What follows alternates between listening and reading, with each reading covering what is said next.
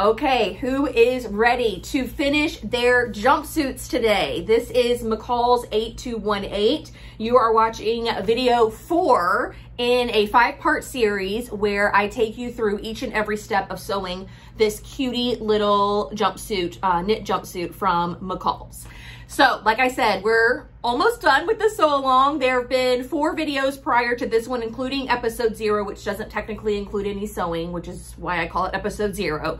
But if you haven't seen those yet, you're gonna wanna go back and watch those videos to see how the bodice came together, how the pants came together, and all the prep work that we did leading up to even turning on our sewing machine. If you would like this video, subscribe and click the notification bell if you want to get notified of all my videos.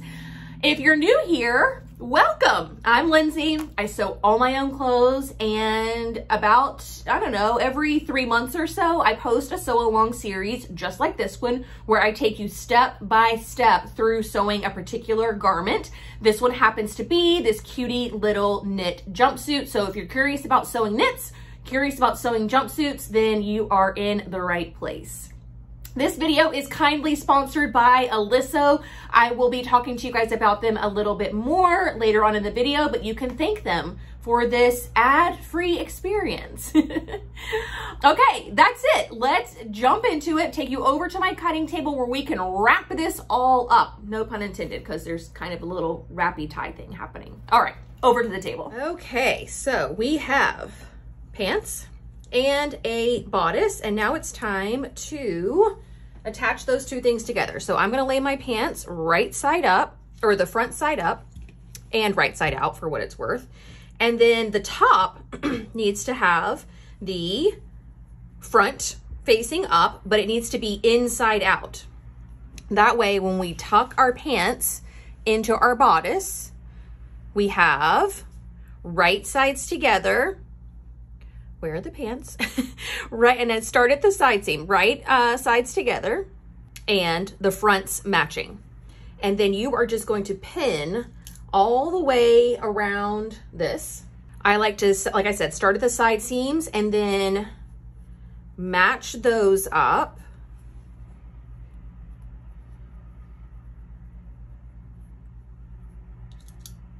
Like so. And then I have uh, my centers, center of the pants is marked. And when I was cutting out the fabric, I went ahead and cut the center, uh, snipped into the center of the bodice as well. If you don't have that marked, you can just um, fold your side seams till they match, you know, like this, and then mark your centers that way. So I'm gonna do the center on the back as well. I've gotten in a pretty good habit of clipping um, my pattern pieces when they're on the fold clipping that fabric right at the fold because I know eventually I'm gonna have to match some centers. All right, so now we're gonna go to the sewing machine. You cannot do this part on your serger. Um, and we're gonna sew this at 3 eighths of an inch, but I'm sorry, three, three quarters of an inch. And that is for our 3 eighths inch elastic. So I actually prefer to only have a quarter inch of ease in the elastic channel. So if I were going to be using the 3 8 inch elastic, then I would actually only sew the casing at half an inch. But as I told you in video zero or one, I'm gonna be using half inch elastic. I just like how substantial the half inch is. I don't know if it's because I have more of a full tummy or if it's because I'm on the higher end of the size range, but I don't like to go less than half an inch on my elastic. So three quarter inch seam allowance all the way around. Okay, and once you have that, again, you should have your pants sewn to your bodices. The overlay should be hanging loose. You shouldn't be sewing that to anything. Um, and it fits one to one all the way around. There should be no easing, none of that kind of stuff. It's pretty easy and straightforward. Now we need to come in and sew the raw edge at a quarter of an inch. I'm gonna zip this through my serger because my serger thread width is a quarter of an inch.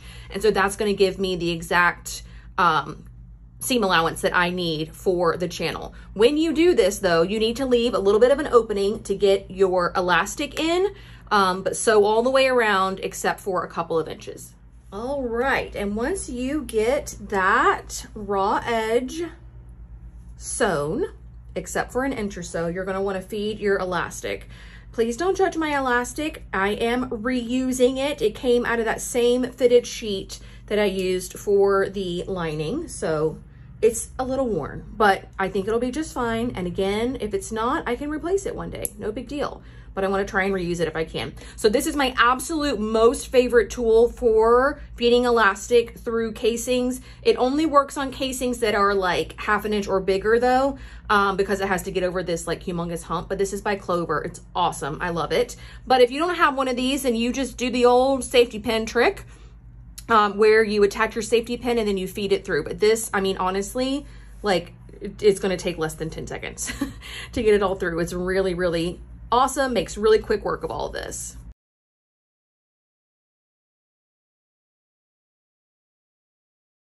Okay, done and done. So I'm gonna overlap this. And then at this point, this is when we wanna try this on. Um, we want to make sure that the elastic is tight enough. Uh, we wanna make sure that our hem is gonna be right. You know, we can do like an initial fitting at this point. Um, but if you're good, like assuming everything's fine, then all you need to do is, where did the hole go? Um, sew up this, obviously you will sew the elastic together. I like to just use a zigzag stitch and go over the parts where it overlaps. And then you're gonna sew up this and that is going to be done. Also make sure your elastic's not twisted. I swear no matter how hard I try, my elastic, my elastic is forever twisted. Um, so I will have to swap that around, but that's okay. All right, once you get that in, then you're going over to your ironing board uh, where we are going to press. Whoop. Oh my God, so cute. Where we are going to press, you guys, oh my gosh, okay. Where we are going to press this whole thing up toward the bodice. And also because we already pre-pressed our hems. Do you see how it's just subtly got that little fold in it? So now we don't have to futz with this over at our ironing board and trying to get it around and measure and do everything right. We can just fold it in on its little fold that is already in place and go ahead and hem it. All right, and while, while I am pressing my hems and pressing my waistband up, I'll talk to you, uh, last thing about the Oliso iron that makes it super unique and such a great iron is that it lifts up all by itself off of the table. And it has a little foot here, and then this big plate comes out as well, so that when you are in between pressing, you do not have to turn it up on its heel and turn it back down again. It has genuinely saved my wrists. I don't know about you guys, but I start to feel like fatigued when I am in, in the middle of sewing. And this one little thing has just really changed everything. It's made it so much easier. Um, it's less work on my wrist, on my shoulder even. So if you have issues with any of that stuff, with your, um, with your preferred hand, I mean, this is, this is a real, real game changer. So with the Pro Plus, um, another one of the advancements that they made was adjusting the kind of like the sensitivity to that. And I think what was going on with the old one is that you would go to like move, you would move your hand ever so slightly and it would pop up. But now you can see you can kind of sort of let go and it's not going to pop up on you. Like you really have to fully let go of it for it to respond. But if you're just grabbing this, if you're, I don't know, you know, doing something like that would have uh, triggered it before, you know, just grabbing the steam because you can see the bottom of my hand is like not on it anymore.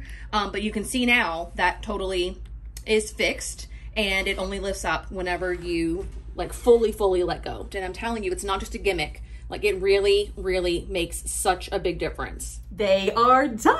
I'm not gonna show you too much of mine because I don't wanna give it away, but you should have finished your jumpsuit at this point. Everything should be taken care of. Of course, you can go in, clip those extra threads, you know, give it a nice good press and a steam and wear it proudly. In the last part of this series, I'm gonna be showing you the big reveal, how my jumpsuit turned out.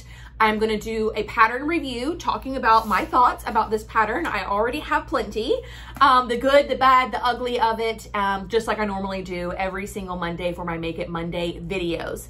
If you want some more helpful information about garment sewing, download my free ultimate garment sewing guide of guides. Why did I give it such a complicated name? I can never say it. Um, I have a link in the description box. Like I said, it's totally free to download. Seven different guides all in one massive guide. Huge, huge, huge shout out to Oliso for sponsoring this series. I hope that you were able to kind of learn a little bit about their product, their main smart iron, as well as the mini iron that we covered, I think in episode one. And we'll be considering it for your next big iron purchase. I'm telling you, I've used them for years. I love them. And I am just so excited about the uh, improvements, true improvements that they made for the new Pro Plus. So I'm happy to share all of that with you and hopefully maybe inspire you to get a new iron. I have linked here in the inslate um, the playlist for this specific sew along. Every single video has chapters, so you should be able to go to the video you need, the section of the video you need, and pick up where you left off. But that is gonna do it for me today, y'all. Thank you so much for watching. I will see you all very soon. Bye.